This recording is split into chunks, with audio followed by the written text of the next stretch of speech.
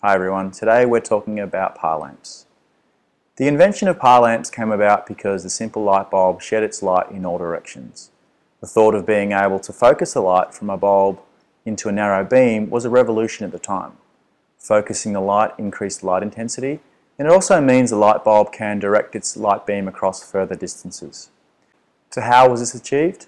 Well, by making the light bulb smaller and then surrounding the bulb by a reflector, Light coming out in all directions is redirected to a relatively narrow beam. PAR stands for Parabolic Aluminized Reflector, a parabola being the best suited shape for the reflector, and the reflector was made of a highly reflective aluminum material. Engineers at light bulb factories now making par lamps played around with the shape of the reflector and were able to offer the same par lamp with different beam spreads.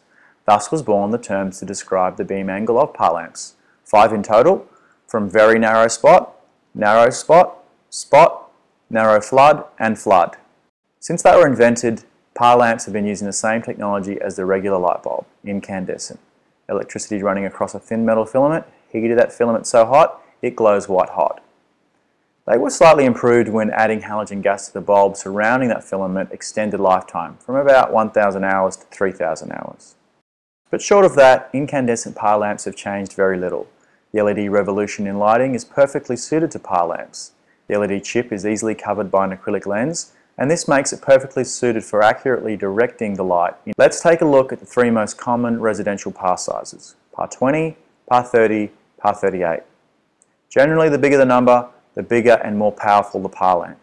The number after par references the diameter of the bulb in eighths of an inch, so a par 20 is 20 eighths or 2.5 inches across the face. The LED par was designed to replace the outmoded incandescent option. So when giving off an equal light intensity and light spread, the LED par bulb will only use about 15 or 20% of the electricity. For example, a par 20 incandescent of 50 watts is now replaced by an LED par 20 of only 8 watts. A par 30 incandescent of 75 watts is now replaced by an LED par 30 of only 12 watts. A PAR 38 incandescent of 100 watts is now replaced by an LED PAR 38 of only 17 watts. What's more, LED bulbs last a lot longer. A bulb like in a regular incandescent PAR that uses halogen gas in a little glass bulb will last around 3,000 hours. An LED PAR will last around 50,000 hours. More than that, LED is solid state lighting, which means it has no moving parts, no gas or glass to break. Drop an LED bulb and it'll work when you plug it back in. And LEDs run cool. Even after being on for many hours, you won't burn yourself touching them. Finally, another improvement LED par lamps have over their old incandescent cousin is now you can choose the color temperature of the bulb you want. This is explained further in an introduction series in our library, but essentially the type of white light, which is the most noticeable characteristic of light, can be chosen with LED, from a warm 3000K to a neutral 4000K to a cool 5000K. This is pretty personal and unlike the old halogen incandescent par lamps, you now have your choice.